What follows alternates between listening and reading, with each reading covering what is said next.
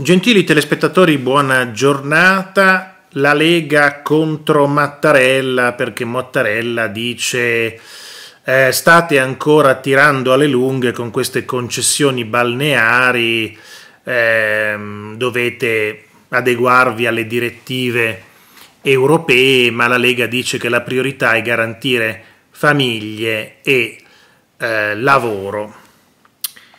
Eh, a me piacerebbe che la politica di oggi garantisse un lavoro degno a tutti quelli che sono considerati lavoratori poveri, quindi quei 3 milioni e mezzo, 4 di lavoratori poveri e anche quei 3 milioni e mezzo, 4 di lavoratori che sono quasi poveri. Bene, ehm, intanto, come vi dicevo, Mattarella, il Quirinale, parla proprio del mercato della concorrenza la Lega eh, per qualche ora non risponde e poi com- mm, fa un comunicato dicendo che la Lega è impegnata come da anni, anche in questi giorni, per garantire diritti e futuro alle migliaia di lavoratori e imprenditori del commercio ambulante e del settore balneare, perché il rimprovero di Mattarella non era solo sui balneari, ma anche sui commercianti ambulanti.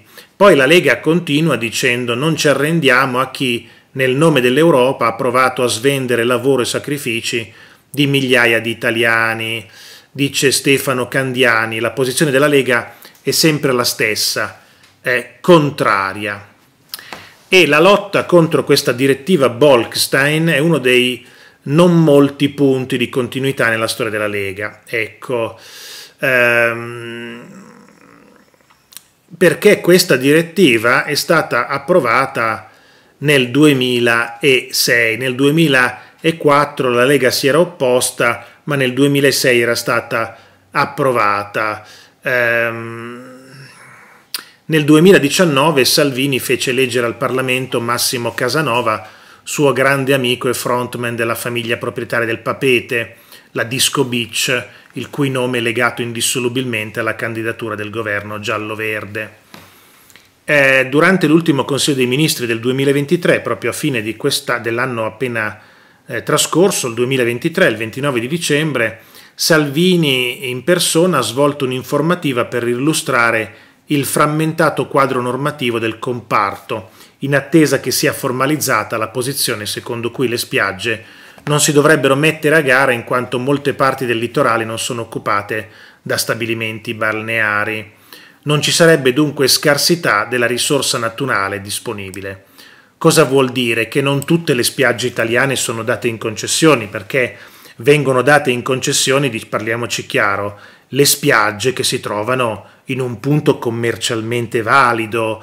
Eh, naturalmente se andate nel litorale eh, laziale o riminese, andate nelle zone dove non c'è niente, eh, chi è che prende un'attività, eh, una concessione balneare in un posto dove poi la gente non ci viene?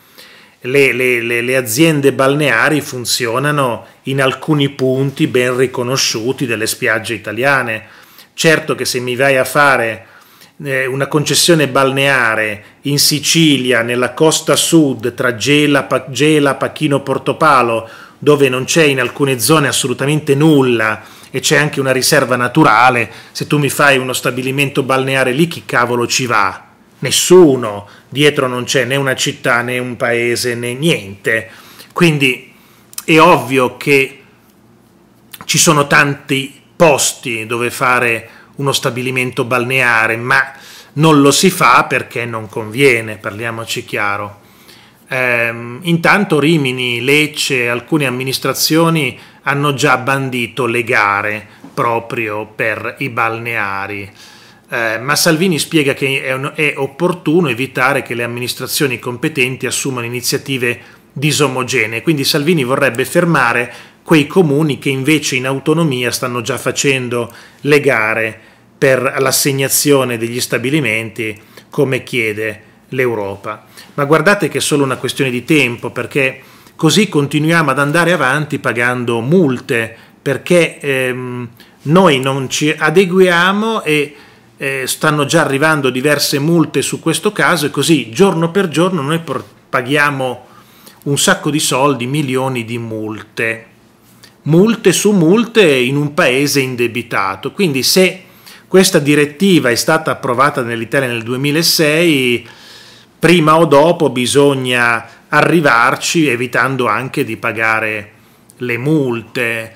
Eh, però magari si tira avanti per tutto il governo Meloni, poi magari arriva un altro governo e l'approva subito, quindi è solo un tirare avanti. Ecco, il, l'invito dei comuni era semplice, non fate le gare, ma i bandi sono eh, ostili non solo i leghisti ma l'intera maggioranza, a partire anche da Giorgia Meloni che lo scorso novembre parlava di iniziativa di iniziare una nuova contrattazione con la Commissione. Dobbiamo dare la certezza del diritto. Il punto è che fare nuove contrattazioni sui balneari, nuove contrattazioni sul MES, il fatto è che prima non si deve dire sì e poi scontrarsi. Eh, il punto è che l'Italia continua a cambiare governi continuamente e c'è un governo che dice sì, quello che arriva dice no, poi ne arriva un altro dice sì, no, sì, no e si va avanti così. Se ci fosse una linea unica dei governi stabili, un governo dice no, punto e basta, al posto che un governo dice sì, poi ne arriva un altro, ecco. Eh,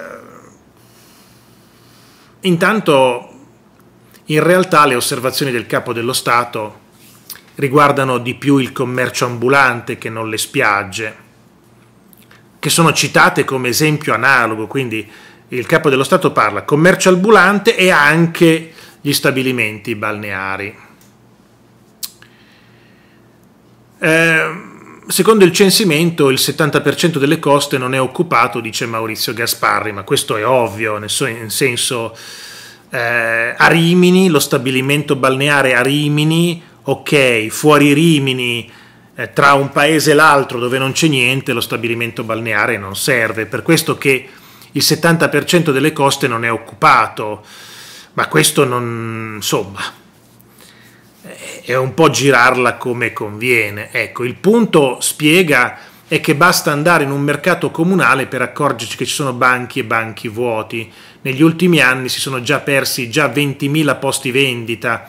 Il problema è la moria, non la concorrenza. La concorrenza viene alterata da Amazon, non da bancarelle che chiudono giorno dopo giorno. E da questo il senatore è convinto che a breve si dovranno riunire le commissioni per discutere della lettera del capo dello Stato. Non possiamo non rispondere e non dare seguito a una lettera del Presidente, peraltro scritta in punta di diritto. Grazie a tutti e buon proseguimento di giornata. Ci vediamo al prossimo video. Arrivederci e grazie.